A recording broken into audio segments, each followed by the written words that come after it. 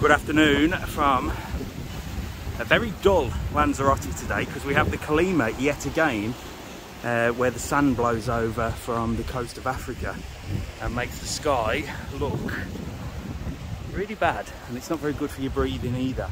But we're just down in the old town of Puerto del Carmen. Uh, some beautiful restaurants along this walk and we're going to show you exactly what's going on. It's quite busy down this area We've just driven down the new town of Puerto del Carmen and that's really, really busy. Uh, there was nowhere to park so we thought we'd come down here today and do a quick video of the old town because they've got a big car park. You can see people are having a wander around. You've got the old town harbour just there.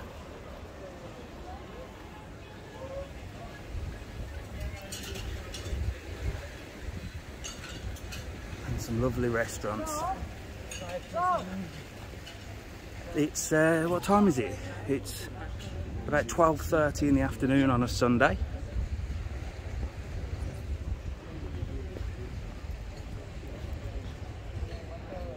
For a January, it's actually quite good. I have reports from businesses that they're very busy. Excursions seem to be still going strong. Plenty of people booking. And uh, you still need to book in advance. Some nice little restaurants here.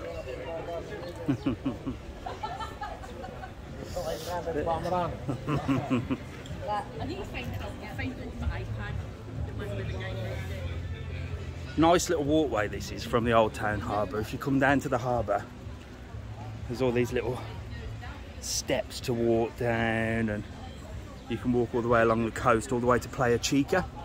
And there you've got all your water sports and your jet skis and things like that.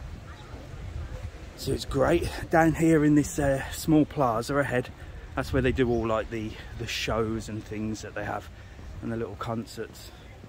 And I believe I'm not sure if they're doing the St Patrick's Parade or Carnival this year. Um, not sure about Carnival I have heard a rumour that Arrecife one's been cancelled, so whether they run it or not, who knows. Bloody madness, the world seems to be opening up, but Spain seems to be continuing. Who knows what's going on. Busy down here. I'm very good, you.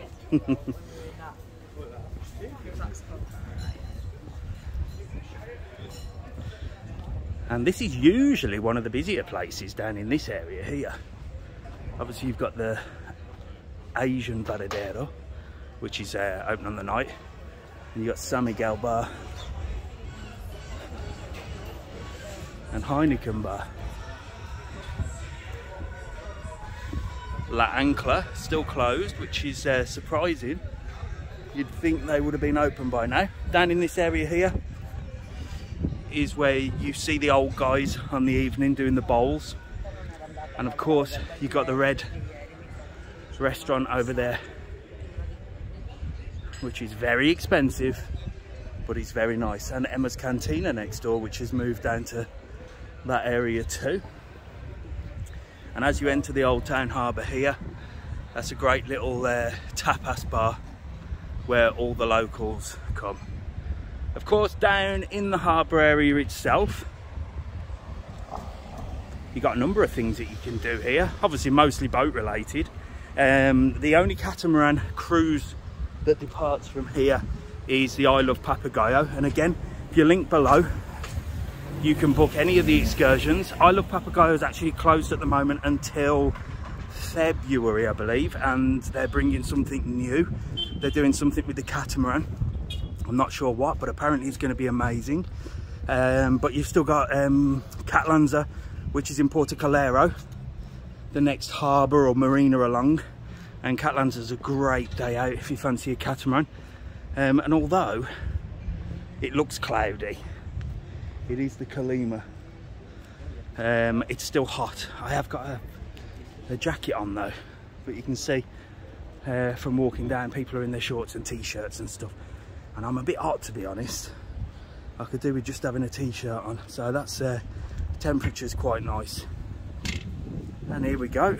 This is where you get the taxi boat as well. So here's where the small taxi boat that takes you to Puerto Calero pulls up. And there's a little view of the old town. And you can walk all the way along there, all the way up them stairs and all the way to Puerto Calero. The yellow boat you see there is um, the Sunset Cruise boat and the boat to Lobos as well. So that goes uh, there. And again, all of this is available on our website, excursionslanzarote.com. As I said, link below. Um, just like to give everyone a big, massive thanks for watching all our videos. And you've managed to get us to a thousand subscribers on YouTube, which is good because that means I might make some pennies. Who knows? But thanks for watching, guys. And uh, if you do need anything, drop a comment below, ask any questions. We're glad to help. We'll see you soon.